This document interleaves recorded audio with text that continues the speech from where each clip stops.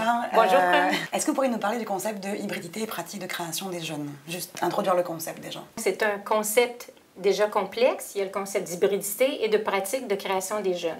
Donc, dans le concept d'hybridité, il s'agit de croisement d'éléments divers qui peuvent provenir de différents ensembles. Ça peut être des modes euh, de représentation, ça peut être des ensembles, euh, des, des, disciplines, bon, différents éléments qui sont mis ensemble et qui vont générer de nouvelles formes.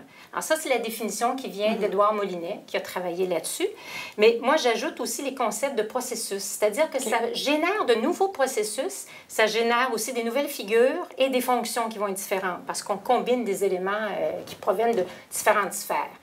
Les pratiques de création des jeunes, ce sont vraiment les pratiques que les jeunes font situées en contexte, c'est-à-dire qu'on ne regarde pas juste ce que les jeunes produisent mm-hmm. et créent, mais on regarde aussi dans quel contexte ça se situe de façon culturelle, sociale, même politique. Euh, donc, il s'agit de combiner les deux et c'est ça la particularité de ce concept-là qui est hybride lui-même.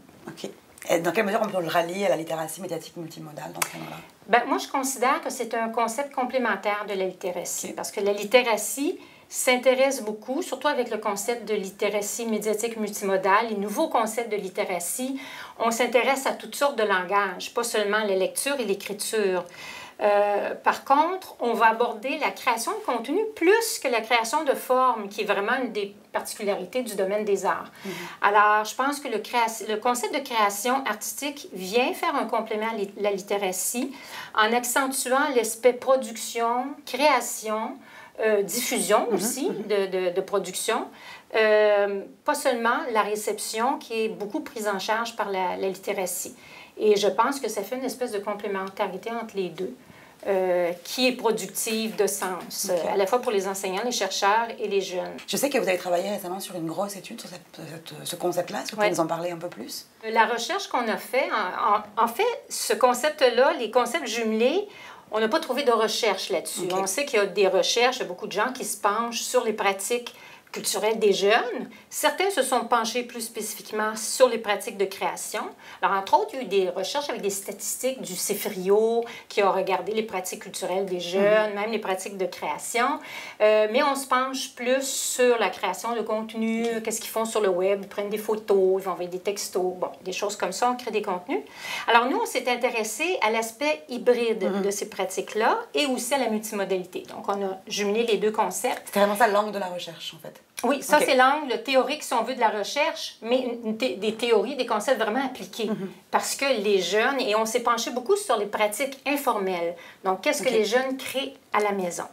Et souvent, les jeunes ne savent pas qu'ils créent des choses. des fois, ils vont dire, bon, je fabrique quelque chose. Alors, ils nomment pas ça nécessairement de la création. C'est ça qui est intéressant mhm, aussi, de voir qu'est-ce qui, pour eux, est de la création, qu'est-ce qui en est pas, qu'est-ce qui, pour nous, peut en être aussi. Mhm. Pour ce qui est de l'hybridité, il y en a partout dans les productions des jeunes, parce que si on parle de pratique, on ne parle pas juste de la production. Une production peut être monomodale. Je vais écrire un texte. Mhm.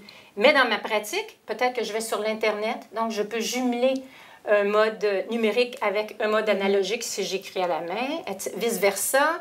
Euh, je peux euh, hybrider les supports, mhm. euh, à la fois dessiner avec un papier crayon, numériser ça, mettre ça sur l'Internet, retravailler ça, mettre ça en ligne, diffuser dans un réseau. Mhm. Alors, il y a plusieurs pratiques qui peuvent combiner les modes, les genres, les médias, les supports, etc., etc. OK. Puis, est-ce que c'est quoi le, les besoins aujourd'hui dans, ce domaine-là? Quel type de recherche faudrait qu'on mène pour pousser encore plus loin la réflexion? Bien, je pense qu'il faut continuer à faire des recherches sur les pratiques culturelles et de création des jeunes parce qu'elles elles se transforment avec les supports, avec la, technologie. Mm-hmm. Elles sont en complète transformation et on, on ne peut pas aujourd'hui considérer le numérique comme une simple technologie. C'est-à-dire que c'est aussi un mode de pratique, c'est un univers culturel, c'est un univers social, politique, mm-hmm. c'est un phénomène de société dont on doit tenir compte. Donc, il faut continuer à examiner les pratiques. Et ce qu'on a fait, c'est que pour s'assurer d'une plus large couverture, on a créé les CRIP euh, entrelacés, littératie et culture des jeunes.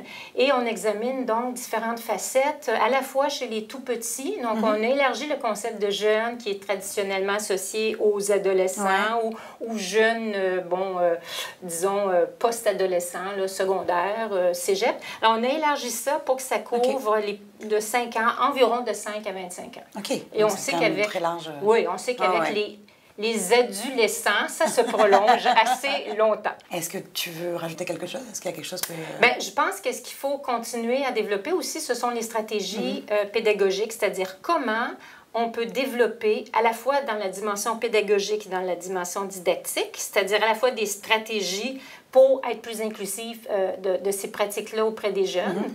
euh, c'est-à-dire qu'on accueille ces pratiques-là à l'école en demandant des jeunes de parler de leurs pratiques, en faisant des entretiens avec eux, en leur demandant de montrer ce qu'ils font, de partager. Euh, mais aussi de développer des contenus didactiques autour de ça pour que ça se réinsère éventuellement dans les programmes. Donc, il y a beaucoup de travail à mhm. faire sur le plan de la pédagogie et développer des modèles qui sont plus inclusifs aussi. Mhm. Euh, et qui, où on va faire des liens quand même avec les pratiques de création dans le monde artistique, dans le monde culturel aussi. OK. Bah, merci beaucoup, Monique, pour, euh, pour cette explication très claire de ce concept-là.